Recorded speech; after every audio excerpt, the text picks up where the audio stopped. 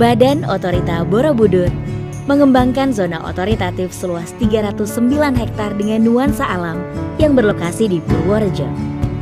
Lokasi inilah yang akan dikembangkan menjadi kawasan wisata utama dengan konsep culture, adventure, dan ekoturism.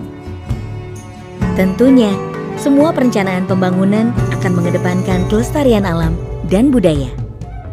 Kemudahan akses menuju lokasi ini hanya berjarak 12 km dari Candi Borobudur dan sekitar satu jam saja dari New Yogyakarta International Airport. Hal tersebut membuat kawasan wisata ini sangat strategis dan potensial. Berbagai fasilitas wisata bertaraf dunia akan dihadirkan di kawasan ini, seperti hotel dengan konsep glamorous camping, fine dining restoran, hingga outdoor theater.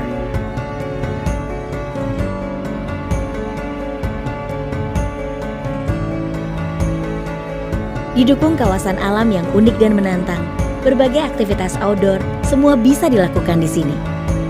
Seperti trekking, downhill biking,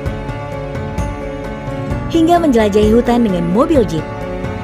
Dilengkapi dengan objek wisata di sekitarnya yang sudah berkembang, akan meningkatkan nilai investasi zona otoritatif yang dimiliki Badan Otorita Borobudur.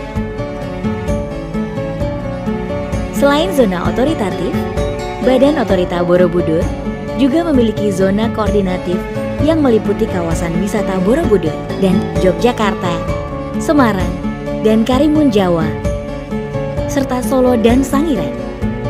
Sehingga kawasan wisata tersebut akan saling menunjang satu dan lainnya.